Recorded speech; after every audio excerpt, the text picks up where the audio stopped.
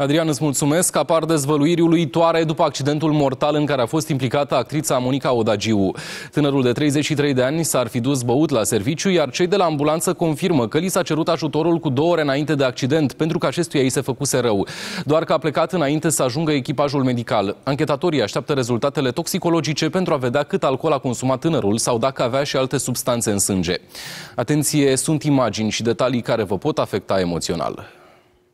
Alexandru, tânărul de 33 de ani care a murit izbit de mașina actriței Monica Odagiu, lucra de aproximativ 3 săptămâni la un casino de pe calea Victoriei, nu departe de locul accidentului. În cumplita zi, se pare că băuse la serviciu și îi se făcuse rău. Patronul a sunat la 112. Cei de la ambulanță confirmă că au primit un apel la ora 14 și 35, iar echipajul medical s-a dus în grab acolo. Deși au ajuns într-un timp scurt, Alexandru plecase deja, astfel că nu au mai avut cui să acorde ajutor. Două ore mai târziu, o cameră de supraveghere îl filmează într-o stație de autobuz de pe calea Știrbei Vodă. Stă pe bancă preț de câteva minute, apoi se ridică, se dezechilibrează și se prăbușește pe carosabil. Exact în acel moment, mașina condusă de Monica Odagiu lovește puternic. Actrița a virat brusc de volan când s-a trezit cu bărbatul în fața autoturismului, dar a fost prea târziu. Ba că a fost drogat, ba că a umblat beat, ba că l-a dat maică afară. Astea sunt baliverne, astea sunt minciuni. Nu ne mai spuneți așa ceva. Nu. Se la o petrecere cu o seară înainte. Da, cu prietenii, ca orice tineret în ziua de astăzi, corect? Toți, toți, toți tinerii se duc la o petrecere. Dacă a consumat sau nu alcool sau substanțe interzise, o va arăta analiza toxicologică de la Institutul de Medicină Legală Minaminovici. Dar, potrivit unor surse din anchetă, patronul cazinoului și unii colegi le-ar fi povestit polițiștilor că tânărul a mai fost angajat acolo și în trecut și ar fi fost dat afară din pricina dependenței de alcool. Devastate de pierderea lui, rudele și apropiații l-au condus astăzi pe ultimul drum. Noi veneam, am venit din Spania special pentru el. Copilul ăsta l-a luat, n-a făcut, n-a fost drogat, n-a fost beat.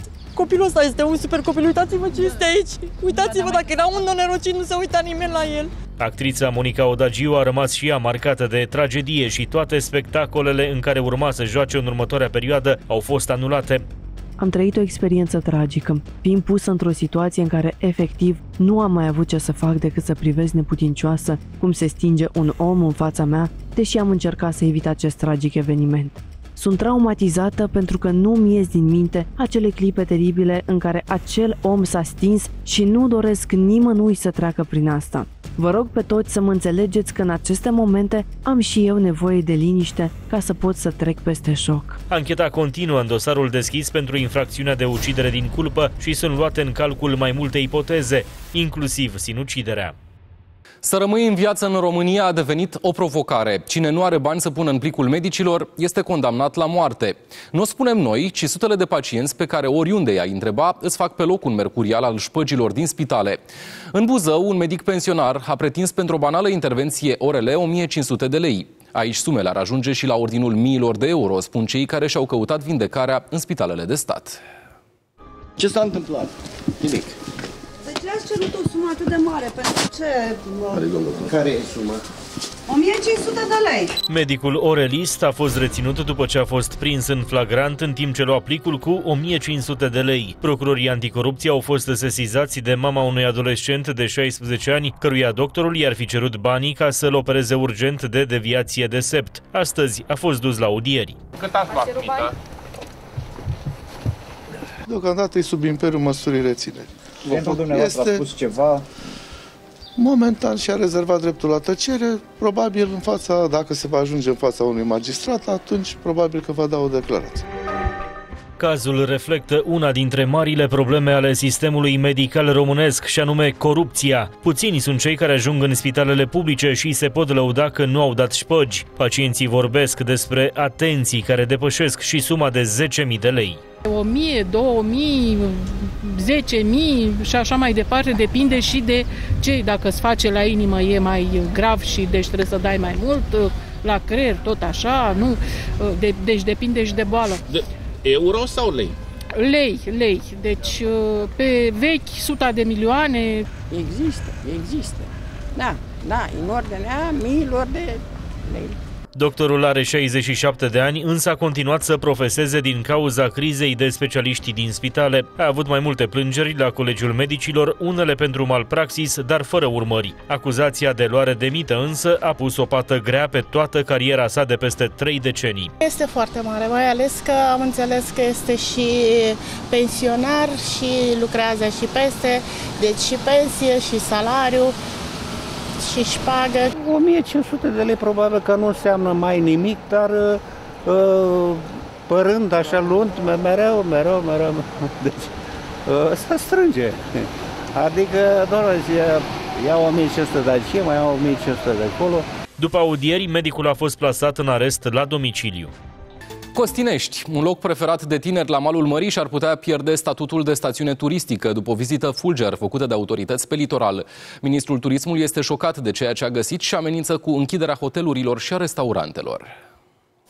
Ministrul Turismului și alți oficiali au descoperit dezastrul de pe litoralul românesc. Au făcut un control în mai multe stațiuni și spun că cea mai gravă situație s-a găsit în Costinești. Ministrul Constantin Cadariu a filmat locurile care l-au șocat în stațiunea tineretului. Primarul localității se apără și arată cu degetul spre birocrația românească. Pe surprinderea domnului ministru care nu știa de zona este administrată de, de către alt minister. Normal suntem stat, stat, stat și acum începem să ne certăm între noi.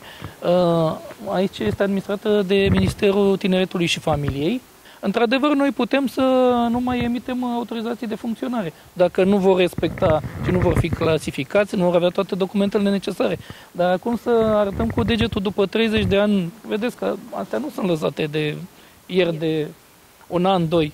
Ministerul Turismului amenință cu închiderea hotelurilor și restaurantelor. Dacă problemele nu sunt remediate până la începerea sezonului, stațiunea își poate pierde clasificarea turistică, iar asta va duce la oprirea activităților din Horeca. Am auzit și nu știu dacă mi se pare mi se... neapărat în regulă, atâta timp cât Costineștiu cred că uh, a crescut frumos. Este o stațiune care într-adevăr a crescut uh, frumos. Ne-am chinuit cu toții, începând de la agenții comerciali până mai sus. Dacă erau condiții improprii, probabil nu mai aveam atâția turiști în fiecare sezon. Aproximativ 40.000 de turiști sunt așteptați în perioada 27-30 aprilie la un festival organizat în Costinești. Într-o societate în care stilul de viață sănătos tinde să devină credință de urmat, sunt tot mai mulți cei care cred că își protejează sănătatea alegând viciul cel mai mic. Țigările electronice nu sunt însă mai puțin nocive decât cele tradiționale, avertizează specialiștii. Există numeroase studii care arată că și aceste dispozitive cresc riscul de infarct miocardic și accident vascular cerebral. În plus, substanțele folosite ar conține peste 200 de chimicale.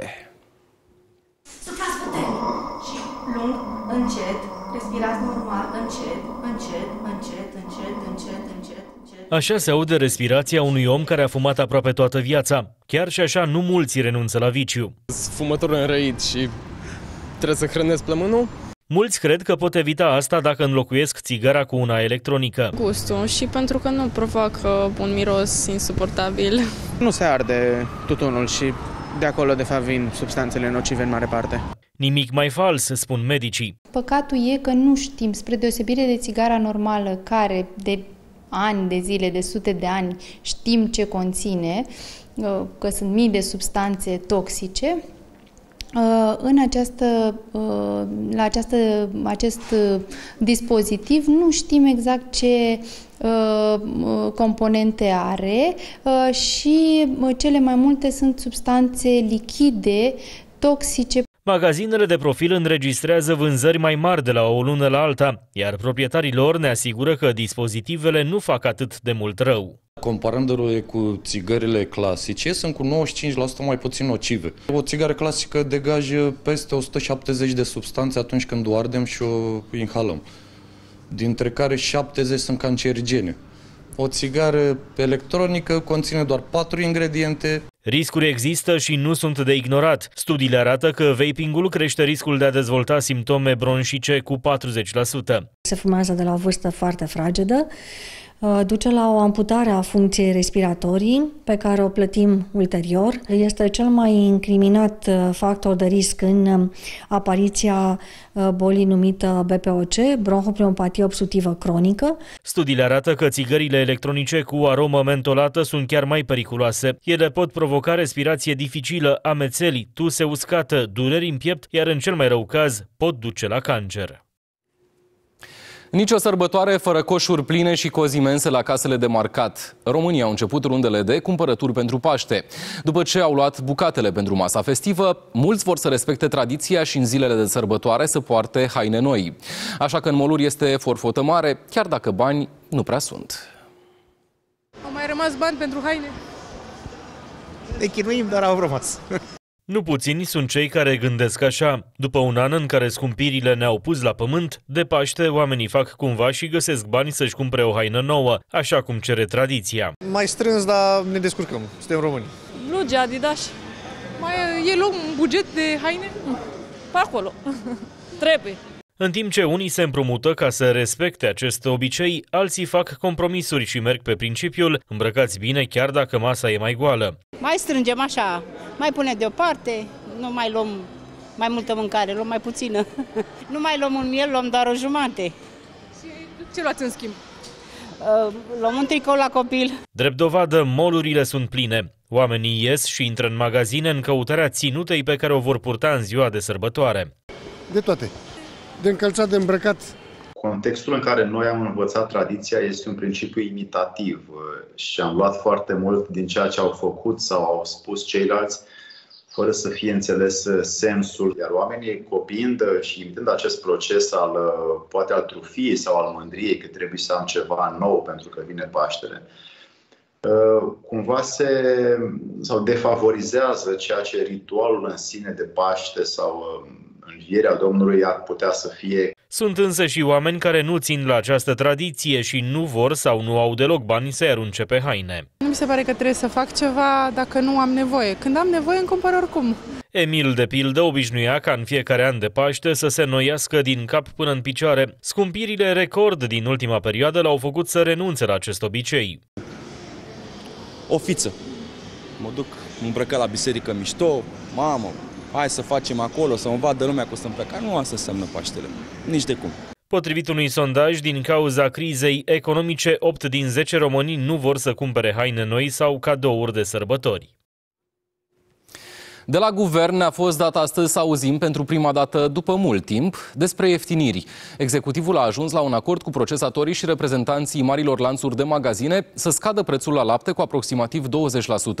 Asaltați de scumpiri la toate alimentele, oamenii văd decizia ca pe o gură de aer. Prețul este foarte mare în magazin.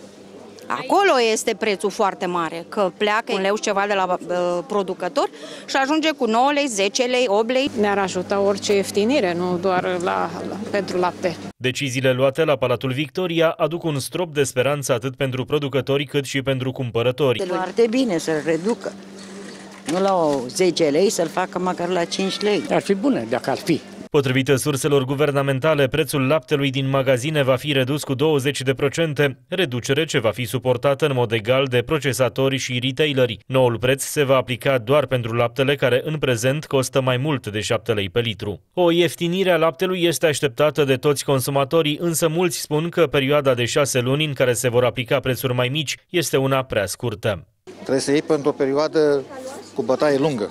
Pentru că dacă iei pentru două secunde acum, e exact cum mai te duci, te duci repari un ceas și nu mergi decât șase luni. Fermierii, cei care produc laptele, spun că îl vând aproape gratis și acuză că la raft prețul explodează. Aceștia se tem că dacă nu se va interveni mai autoritar, vor ajunge la faliment. Acești bani au fost câștigați de procesatori și de uh, comercianți, ceea ce noi n-am fost de acord. Este ceva strigător la cer să le permis să bage ataul comercial de 200, de 300%. La această oră la noi pleacă de la 1,3 în unele zone, 1,5 în celelalte zone și magazin ajunge uh, la 7 lei, 9 lei și 12 lei pe litru. Cei mai mulți cumpărători fug de prețurile exagerate din magazine, așa că preferă să stea la coadă în fața dozatoarelor, unde litrul de lapte nu depășește 6 lei. Nu iau de, de magazin, iau doar, doar de aici, de la dozator. E mai bun, mai ieftin, mai... Uh, calitativ, da, mai bun. dar și la preț cred că este preț convenabil, da. Măsura este prevăzută să intre în vigoare de la 1 mai după ce va fi gata și cadrul legislativ. Autoritățile vor acorda și un sprijin financiar pentru fermieri în acest an. În total, aceștia vor primi 40 de milioane de euro.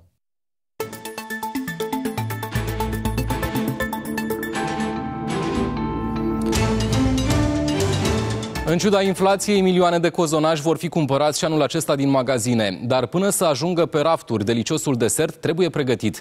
Colega mea, Iulia Dumitrașcu, este în direct dintr-o fabrică unde se muncește la foc continuu. Iulia, bună seara, spunem ce se întâmplă acolo. Bună seara și bun găsit tuturor la fabrica din localitatea Chizătăul Mare din județul Timiș, unde mă aflu eu în acest moment. Se lucrează la foc continuu pentru a pregăti cozonacii pentru sărbătorile pascale. Mai multe detalii însă ne va da Raluca Mariana Ardelean, proprietarea acestei locații. Bună seara! Bună seara! Spune-ne cum merge treaba și câți cozonaci pregătiți? În această seară facem aproximativ 100 de cozonaci. Sperăm până la sfârșitul săptămânii să reușim să facem 400 de cozonaci, cam cât am am avea noi uh, nevoie pentru clienți. Uh, cum lucrați? În ture de zi, de noapte și câți angajați? Lucrăm în această perioadă 24 din 24 să putem acoperi comenzile. Suntem 5 pe schimb și suntem 15 cu tot cu șoferi. Spunem și care sunt prețurile, cât costă un cozonac anul acesta?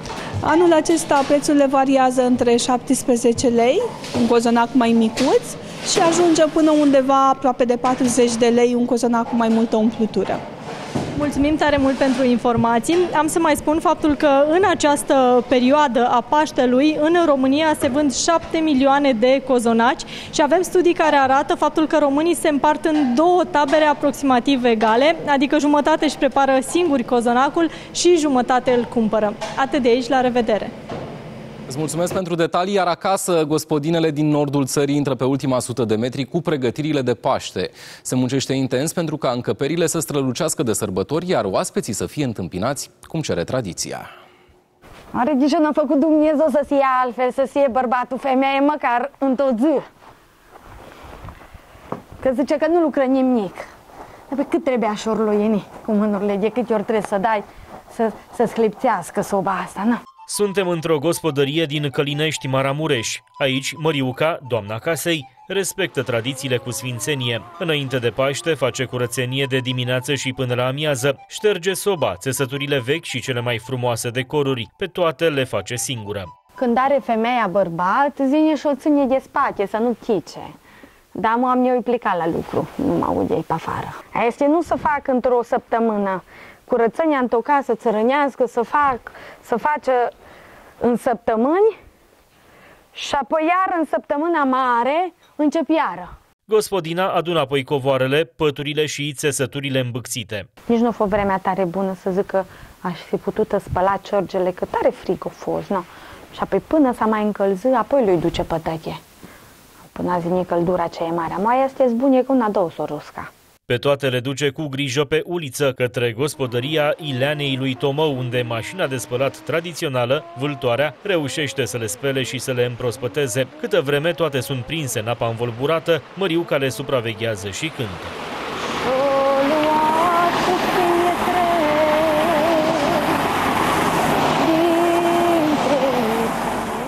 După spălare, toate veșmintele din casă sunt întinse la uscat. Le spălăm primăvara pentru că apa e mai rece și când e apa mai rece nu se duc uh, colorile din uh, cerge și din ce avem noi. E mai bună vâltoarea decât mașina de spălat? Mai.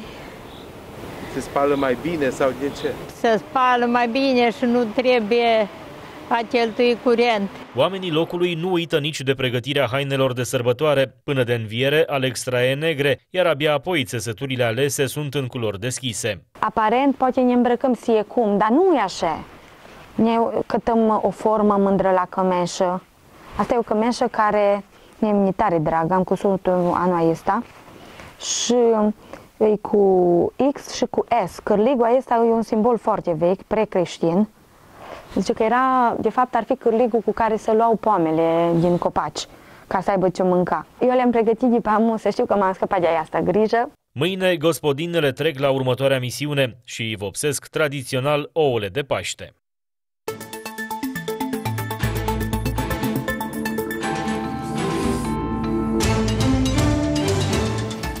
Preparatele din carne de struț câștigă tot mai mult teren în preferințele românilor. Cu doar câteva zile înainte de Paște, vânzările au crescut simțitor. Cârnații, pastrama, friptura, dar și ouăle de struț sunt în această perioadă în topul preferințelor. La această fermă din Sebeș, familia Fărcașiu a început să crească struții în urmă cu 14 ani. În timp au transformat totul într-o afacere profitabilă. Mai ales la iarbă, la verdeață, le place extraordinar de mult.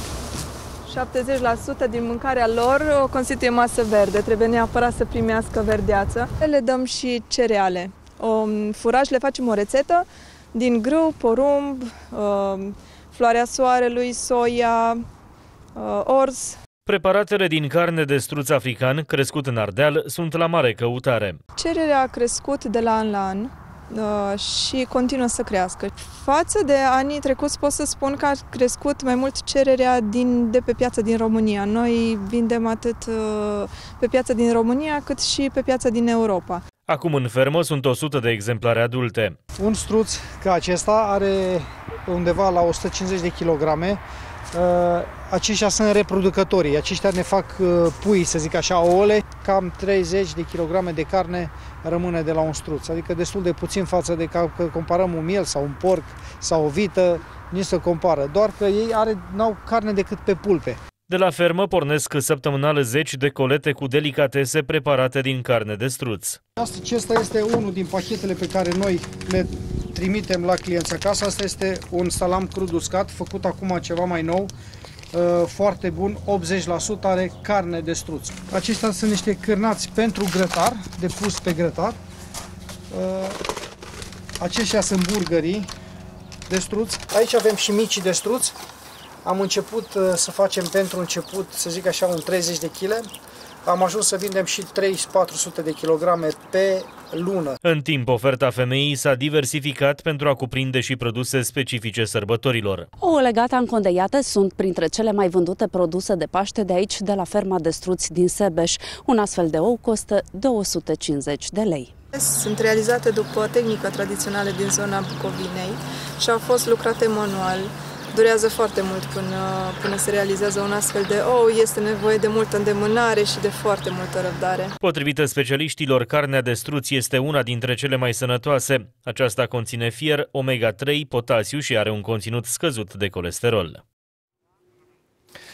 Drob, pască, cozonaj de casă și multe produse tradiționale aduse direct de producători. De toate acestea s-au putut bucura vizitatorii care au venit la piața țărănească din Sibiu. Chiar dacă prețurile au fost mai mari anul acesta, cumpărătorii nu s-au lăsat și au ales puțin din fiecare produs. Nu mai pui de aici? Da. da tu roșii? Da, da, pune și alte. Producătorii prezenți în piața din Sibiu au umplut astăzi tarabele cu produse făcute chiar în gospodăriile lor. La mare căutare au fost preparatele pentru masa de Paște. Asta e ceafă coaptă, drop de miel, drop de porc, din organe de porc. Nu toată lumea mâncă miel și atunci preferă porc. Ați făcut pentru toate gusturile? Pentru toate gusturile și pentru toată lumea. Checurile iar sunt de casă, ecleruță, ișlere, pască. Cozonacul este cu nucă. Este pregătit ca cum se făcea pe vremuri. Nucă de casă, ou de casă. Sibienii au venit la cumpărături încă de la primele ore ale dimineții. Pe lângă produsele deja preparate pentru sărbători, brânzeturile au fost și ele în topul preferințelor. Produse proaspete din lapte, telemea proaspătă, telemea veche, burduf, urdă, unt, lapte, tot ce se poate produce din lapte. Foarte bune, produse naturale de munte. Ne plac, de aia am și venit la domnul, am mai luat sâmbătă, luăm și brânză și am luat și drog. Telemea de oaie.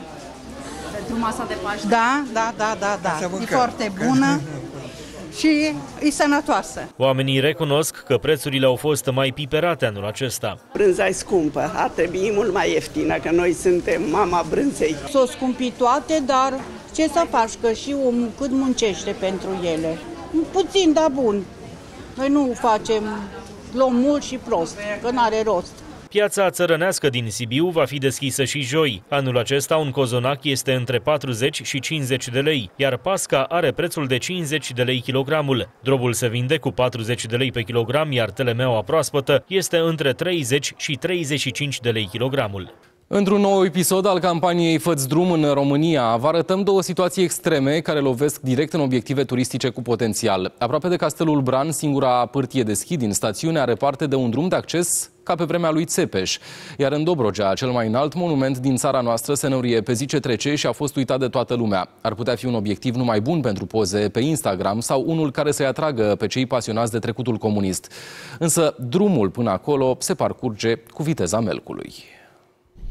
Parcă de pe vremea lui Vlad Țepe și nu a mai fost reabilitat acest drum care duce către pârtia Zănoaga, singura din Bran. Dintr-o groapă în alta trec roțile sutelor de mașini care circulă zilnic pe această șosea aflată la câțiva pași de Castelul Bran, cel mai vizitat obiectiv turistic din România. În zonă sunt și multe pensiuni. Sunt foarte multe gropi, este foarte greu să le eviți pe toate. Am văzut că de vreo săptămână, poate chiar mai bine, au aruncat ceva din nisip sau pietriș, a, practic s-a împrăștiat. Deci, n-a avut niciun efect. Nu, n-a avut niciun efect. Da. Este a, trist că situația durează de atâta timp. Drumul este un coșmar și pentru iubitorii de schi care ar vrea să ajungă la singura pârtie din stațiune. Cum zăpada lipsește, pârtia e închisă în aceste zile. După ce parcurg acest drum de coșmar, turiștii ajung în sfârșit aici la Pârtia Zănoaga. Vorbim despre o pârtie mică unde există două instalații de teleschi și unde turiștii pot să practice sporturile de iarnă. Suntem în luna ianuarie, sunt doar câteva petece de zăpadă aici pe pârtie, iar locul este pustiu, însă atunci când totul este acoperit de omăt, această pârtie parcă prinde viață. Din 4 km de drum care duc spre pârtia Zănoaga, doar doi sunt asfaltați. Degeaba însă, pentru că șoferii sunt revoltați de starea căii de acces. Să mergem ce din cauza drumului, că se vede cu ochiul liber care este problema, dar sperăm să se remedieze cât mai repede. Probleme este cu toate, și cu mașinile, și cu căruța, dacă se poate merge, să merge greu. S-a ajuns în această situație în urma lucrărilor de canalizare și apă făcute aici în ultimii ani. Deși infrastructura subterană a fost modernizată, nu aceeași soartă a avut-o și drumul. Toată suprafața carosabilă a fost distrusă și așa a rămas de câțiva ani buni. Primarii s-au schimbat, proiectul s-a blocat, așa că acum se caută soluții. A durat avizele până am obținut de la instituțiile statului, suntem în procedură de licitație, sperăm din tot sufletul cât mai repede să să atribuie contractul, să înceapă execuția. Banii sunt, este o finanțare prin afir de un milion de euro și încă 600 de mii de euro, ceva de genul ăsta, prin bugetul local. Acești bani vor fi folosiți pentru reabilitarea completă a celor 4 km de drum spre Pârtia Zănoaga, dar și pentru modernizarea șoselei care duce către satul Șimon. Ne mutăm pe un drumeag vai de el, situat aproape de canalul Dunăre Marea Neagră. Ce căutăm aici? Ne îndreptăm spre cel mai înalt monument din România. Ar fi drumul care ne va duce către Monumentul Tineretului. În total sunt 13 km, așadar vom face în jur de 40 de minute. La câțiva metri de noi, acolo în partea dreaptă, se află canalul Dunăre Marea Neagră. Noi mergem pe un uh, drum uh, din pietriș, presărat cu foarte multe gropi. Nu există indicatoare, cel puțin noi nu le-am întâlnit. Peisajul uh, pot spune că este unul dezolant, foarte multe vegetație uscată, iar pe anumite porțiuni se pot vedea cu ochiul liber multe deșeuri abandonate de oameni. Cu tot cu soclu, monumentul realizat în 1988 are 50 de metri. Turiștii străini pasionați de perioada comunistă ar putea învăța aici despre ce a însemnat munca la canal și despre ororile fostului regim. Locul ar putea fi inclus într-un circuit turistic, dar cum să ajungă autocarele până aici? La momentul inaugurării, monumentul dispunea de grupuri sanitare, balize pentru elicoptere, generator propriu de lumină și randouri pentru coloanele oficiale. După anul 1990, hoții au început să fure bucată cu bucată din cele trei plăci de bronz, plăcile de inox de la baza monumentului, dar și literele din bronz de pe soclu. În prezent acesta este extrem de degradat, înnegrit de ploaie și de vânt și batjocorit de graffiti. Monumentul nu mai are parte acum de niciun vizitator. E doar un alt exemplu al delăsării care ne face să pierdem bani. Autostrăzi până faci toată infrastructura foarte greu. Nu o să-ți vină turist de masă niciodată. O să putem face în continuare câte un autocar, două, care o să vină aia, o să zică bine, nu mai venim, știi? Deci nu, o să dureze foarte mulți ani dacă nu investim, trebuie investit enorm. Avem fonduri europene, putem să le folosim. Mi-e mult mai simplu în Timișoara să ajung în Budapesta sau în Viena mult mai repede decât în București, nu? Sau până în Cluj sau orice altă variantă vrei. Și mult mai safe. Du-te Timișoara, Moldova. Cum poți să ajungi? 12 ore cu mașina, 17 ore cu trenul, adică nu, e foarte complicat. La capitolul infrastructură rutieră, țara noastră este clasată între ultimele 5 state ale Uniunii Europene. Un băcăuan care s-a întors acasă după 15 ani de muncă în străinătate și-a găsit ulița așa cum a lăsat-o la plecare, plină de grop și noroi. Cum din partea primăriei nu a primit niciun gest de binețe sau vreun gram de asfalt, a decis să ceară pornirea utilajelor în instanță. Iar judecătorii au dat toată dreptatea din lume, așa că de voie dar mai mult de nevoie, primăria va aduce în secolul 21 strada cu pricina. Este o premieră ce a reușit acest om care a creat un precedent cel puțin interesant. Ți-am făcut pod, ți-am da, făcut sper, stradă. Acum, ocazia Băi, asta, omule, chiar ți-am- sper, băi, chiar ți-am- am o speranță. Păi tragi, Până acum tragi. chiar că... Păi speră, băi, omule, doar că cu trăim cu speranța în viață. Doar cu speranța Așa că... este. Lasă băi tănase, lasă că-l trimit. Suntem în comuna Cleja din județul Bacău. Una dintre străzi a devenit mărul discordiei după ce un localnic a mers în instanță și a obținut asfaltarea căii de acces. Primarul se apără și spune că până la asfalt drumul e lung. La fiecare ploaie aveam inundații. A trebuit să reabilitez întâi albia părăului, după care am făcut aceste poduri ca să putem circula. Totodată am creat acest drum care înainte nu era, Însă localnicul care și-a căutat dreptatea în instanță susține că investițiile nu prea se văd. A lucrat 15 ani în Italia înainte de a reveni acasă. Acum a obținut o decizie definitivă de asfaltare a străzii și așteaptă cu speranță minune. Opinia mea, sper, într-un final, după atâta luptă și plimbări, să se rezolve ceva. Căci de bună voie se pare și după cum se vede, nu s-a făcut absolut nimica. Strada va fi asfaltată cu fonduri europene, promite edilul. Newstime se încheie aici. Sunt Radu Andrei Tudor și vă mulțumesc pentru atenție. Rămâneți pe canal de 2 să aveți o seară așa cum vă place.